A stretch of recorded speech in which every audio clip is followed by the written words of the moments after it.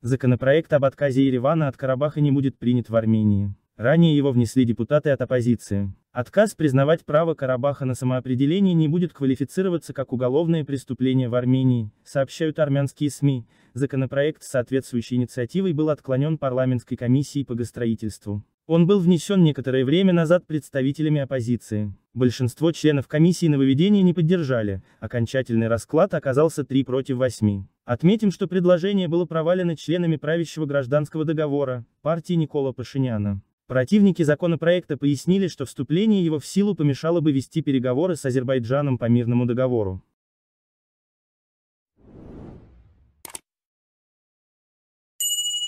you